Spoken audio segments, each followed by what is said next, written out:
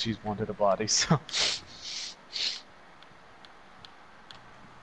And besides, we are her captain. wow. Flip is a superhero. I just gotta believe. And then Tinkerbell will be alright.